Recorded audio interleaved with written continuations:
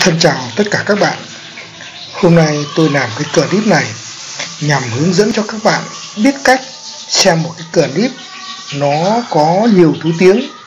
Ví dụ như trong lúc này chúng ta đang cần những cái clip mà cần phải dịch sang từ tiếng Tây Ban Nha hoặc tiếng Anh là tiếng Việt.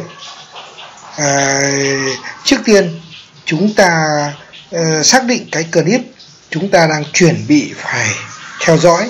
Trong trường hợp này tôi à, đang cần xem cái clip này. Mà cái clip này.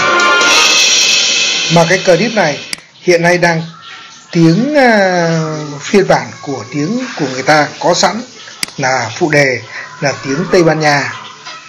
Đấy thì trong trường hợp này tôi sẽ hướng dẫn cho các bạn cách để dịch sang tiếng Việt một cách rất đơn giản chỉ sau vòng có mấy giây là ta có thể xem được à, tôi sẽ làm thật chậm để các bạn có thể xem. Trước tiên là các bạn vào cái phần chỗ cài đặt này.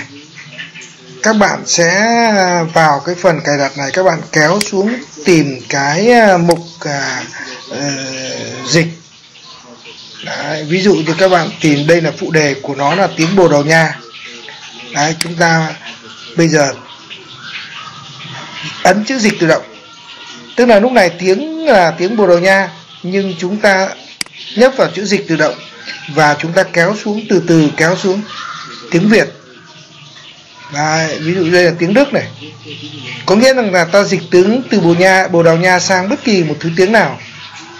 Ví dụ như lúc này tôi đang tìm sang tiếng Việt. À, các bạn bình tĩnh để tôi tìm sang tiếng Việt. Sau khi tôi nhấp vào tiếng tìm được cái tiếng Việt xong ấy thì các bạn sẽ tôi đang tìm tiếng Ukraine, đây, tiếng Việt đây rồi.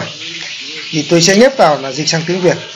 Sau khi tôi nhấp vào xong tiếng Việt xong cái, thì các bạn sẽ thấy là các bạn đưa chuột ra bên ngoài. Các bạn sẽ nhìn thấy tất cả những cái bài phát biểu của cái ông này đang dịch sang tiếng Việt. Đấy. và lúc đó chúng ta chỉ có việc xem và những cái lời ăn tiếng nói của ông ấy các bạn sẽ tự xác định được cái câu chuyện của mình đang cần phải theo dõi.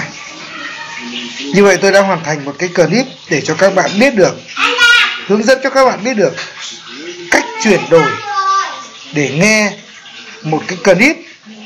Tiếng là tiếng nước ngoài, bất kỳ một tiếng nào, chúng ta cũng có thể dịch sang tiếng Việt. Cảm ơn các bạn đã theo dõi cái clip này.